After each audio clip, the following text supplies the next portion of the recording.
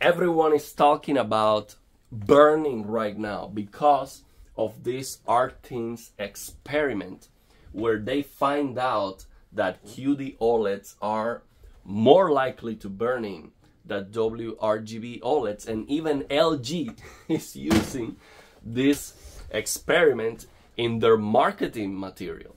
So some of you asked for my take on this situation. So let me start by showing you how long I've been using my LG C1 OLED at full blast with all the protection mechanisms turned off.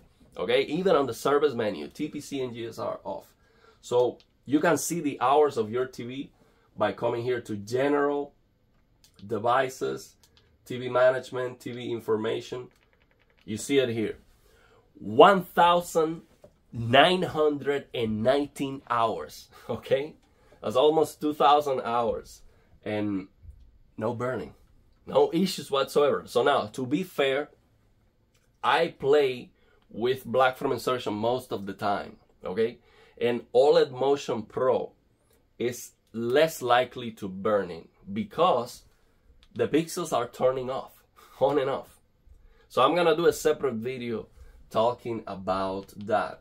And to be fair, based on the RTINGS experiment, the LG WRGB OLEDs specifically are more resilient than other WRGB OLEDs.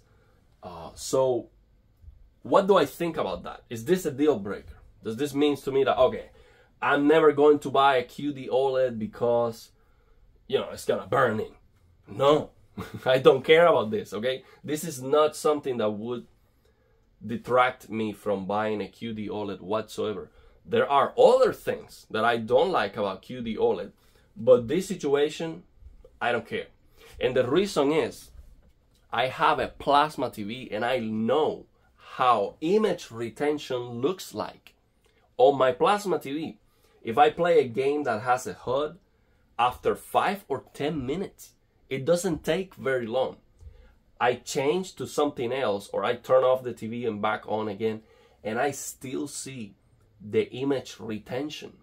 And this plasma TV is over 12 years old and it only has one very faint burning on the right corner of the screen and it is imperceptible unless I play like a solid color, like a gray slide, something like that. It's imperceptible for regular content. So plasma TVs are so much more fragile than these OLEDs. It is not even close. And there's no problem with this plasma TV after so many years. I mean, it is a problem. It is burning on the, on the right corner of the screen, but that's not a deal breaker, man. After you know, 12 years, you're not you're not expected to have a TV lasting a lot longer than that. That's probably close to the end of the life of the TV, and this plasma TV is probably gonna be good fine for a while because it's very bright still. So the TV is going to break one day for sure. That's gonna happen. but something else might break on the TV. So now they are using for this burning experiment. This is a stress test. They are using you know CNN, same logo all the time there. and you know, I'm not going to criticize you for watching the news or anything like that, but you know, let's be let's be clear and let's be smart about this, okay? If you spend one, two, three, four thousand dollars on a premium display. That is 120 hertz, HDR, wide color gamut, 4K, you're gonna watch 720p 30 fps content. That doesn't make any sense. I'm sorry that doesn't make any sense. I wouldn't like even to watch any sdr content. I want 4k 120 fps wide color gamut hdr all the time because i pay for it so every time i am watching content that is not very high um, you know, resolution or quality, I am like, man, I'm missing out. I'm missing out because this display is capable of giving me a much better picture. Of course, we don't need to watch somebody's face on HDR.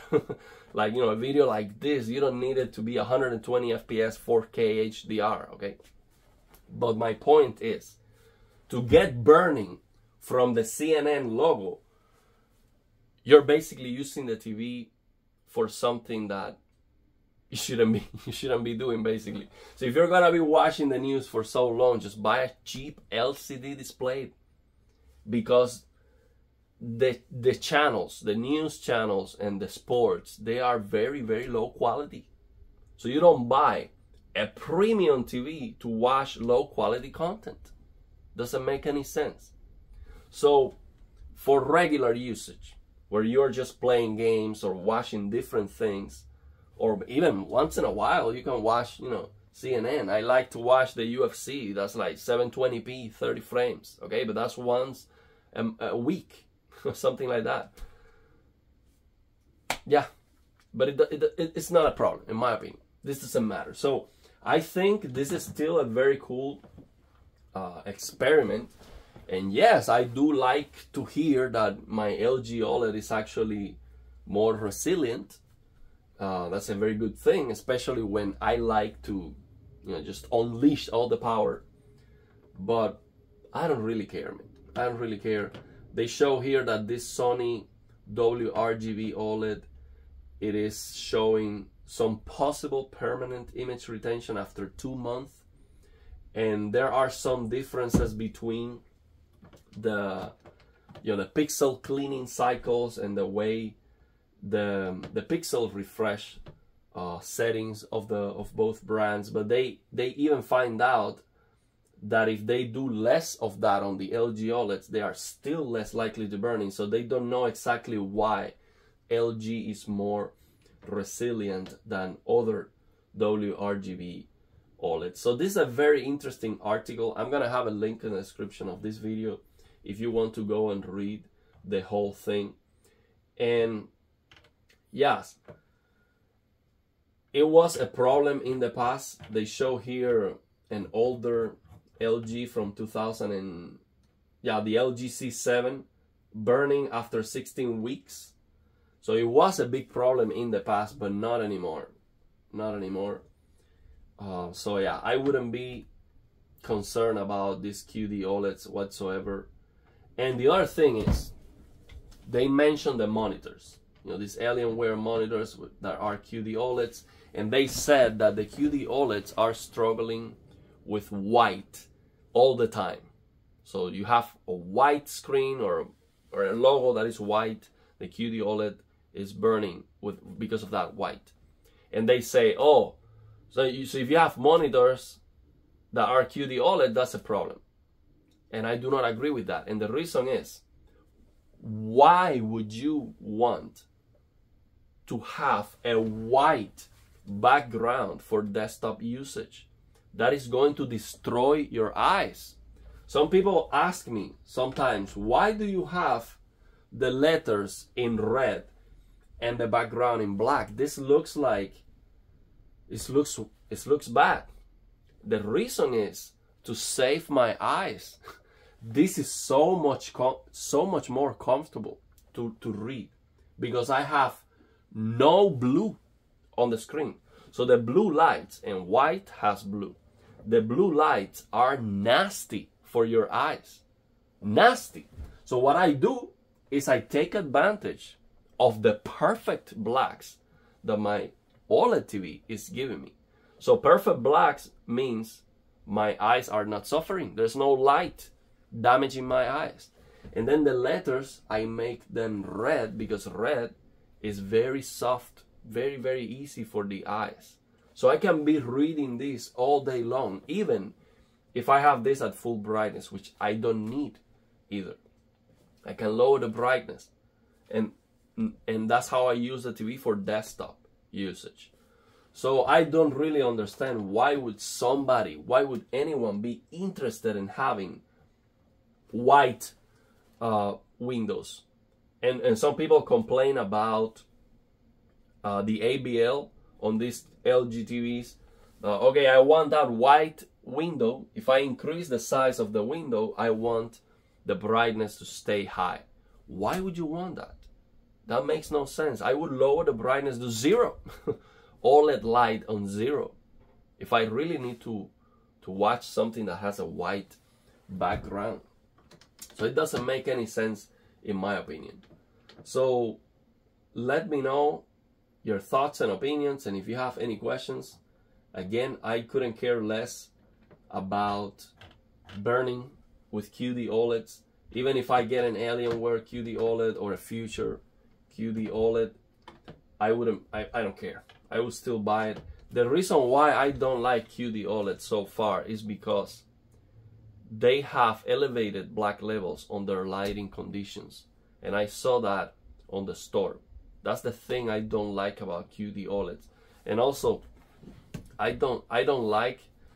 Uh, I've heard some reports that QD OLEDs near black have a little bit of ghosting. So the motion the motion is the pixels, the transition of the pixels is not as fast near black.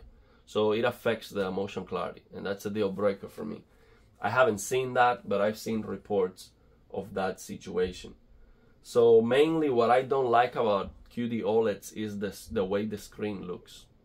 Um, you know what I mean by the screen looks is without even displaying any content on a light on a on a lit room like this it's not gonna look black and I love this darkness here this is the thing that I love that I like the most about this LG OLEDs that's why I was so upset with that Panasonic MZ2000 that has the MLA and it's gonna look like like an LCD screen on a bright room and potentially the LG G3 is gonna look like that too. So let's wait for the reviews and see. So that's the thing I don't like about the QD OLEDs but burning I don't care about that man. I have a plasma TV I know how that looks like and I don't consider that to be an issue whatsoever with the way I use the TV if you're planning to watch the same ESPN all the time and that's all you watch or you maybe you play competitive games you need to have the HUD elements on the screen all the time and you only play that game for 8 hour plus every single day maybe. Maybe. That would be a problem but yeah not the way I use the TV so I guess it depends on the way you use the TV and I believe it is more important the way you use the TV that if you have the protection mechanisms or not. So I have my TV at full blast, but the way I use the TV, I know there's no way I'm gonna get burning because I am changing the content all the time. And I, I can I barely use this TV for desktop. I only use it for gaming. Only use it for gaming most of the time. So yeah, let me know your thoughts and opinions and if you have any questions.